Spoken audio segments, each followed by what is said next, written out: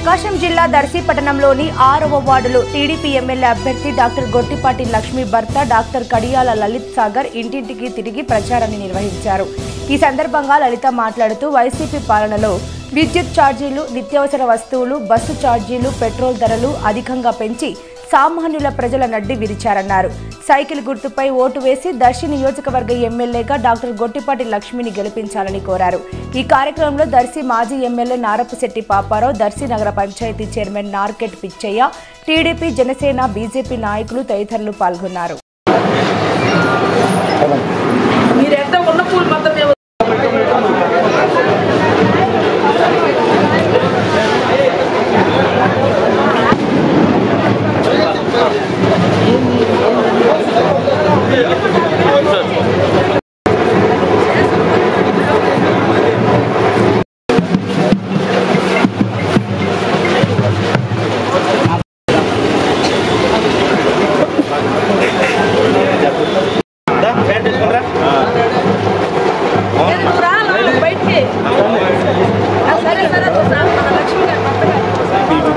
కోటండి మహిళలు ఇద్దరికి పెన్షన్ పదిహేను వందలు.